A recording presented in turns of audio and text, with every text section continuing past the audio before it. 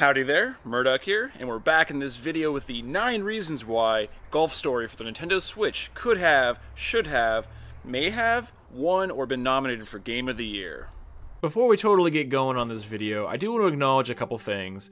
I understand that in a year where you get major releases like a new Mario and Zelda, or an unstoppable beast like PlayerUnknown's Battlegrounds, that games like this kind of get ignored or somewhat swallowed up, but at the same time, that's really a shame, so I wanted to put a bit of a spotlight on a game that's not really going to get a whole lot of attention outside of hardcore gamers and, you know, kind of people in the know. And so I wanted to go over my nine reasons why I think that's the case.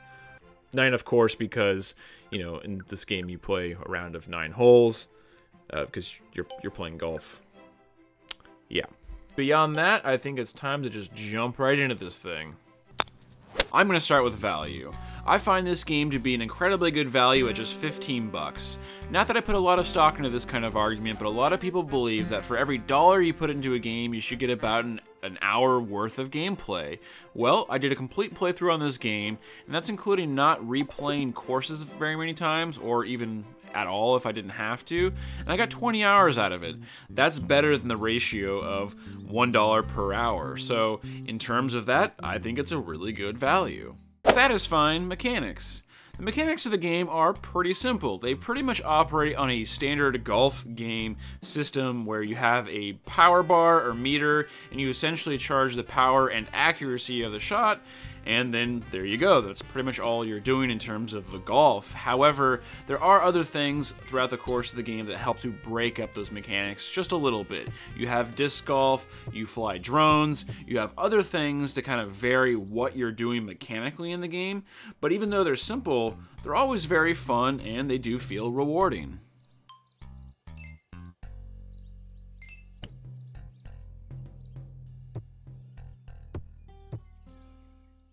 Imaginative challenges. Beyond just playing through various rounds of golf, defeating opponents, there are a lot of things to do along the way that really mix up the gameplay of this game and challenge you in different ways using different sets of skills. There's disc golf, times where you fly drones, foot races, lots of crazy puzzles. There are tons of things in this game that challenge you along the way beyond just playing through the various courses. Which leads me to my next point of unique courses. There are eight different courses throughout the course of this game, and each of them play fairly differently with different sets of challenges or hazards along the way. Some courses have unique wildlife that if the ball enters their given area, they'll do various things to your ball. There are in some cases, terrain on some courses that are unique just to its environment. But this game is pretty wacky and embraces the fact that different places are going to have entirely different environments, and they're going to play differently, and that's a lot of fun.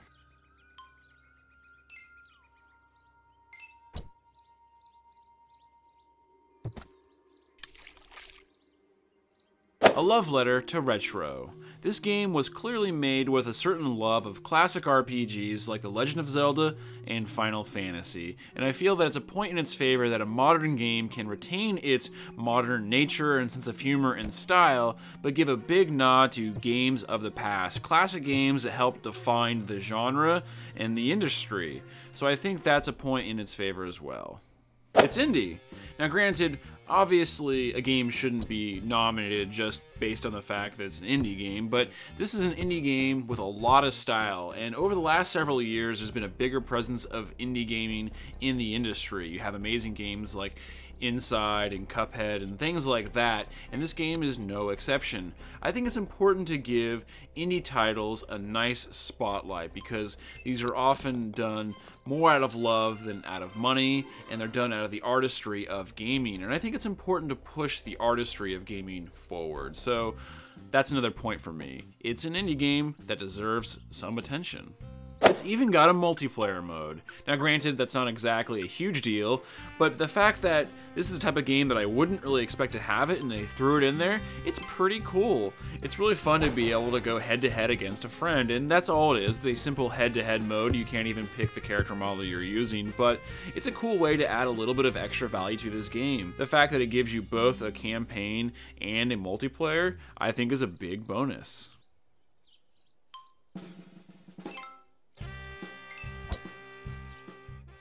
Game is thoughtfully designed, and I'm going to throw general quality in there too. The way you move throughout the courses and the map, the challenges continue to escalate, and they vary everything that you're doing up so you're not like just playing golf the entire time. It was very rare for me to feel lost or confused, or like I didn't really know where I was going or what I should be doing. The way you move from course to course, around each course, and across the world map is very thoughtful. You move from point A to B, everything is relatively seamless, and they send you on paths that seem logical and make sense.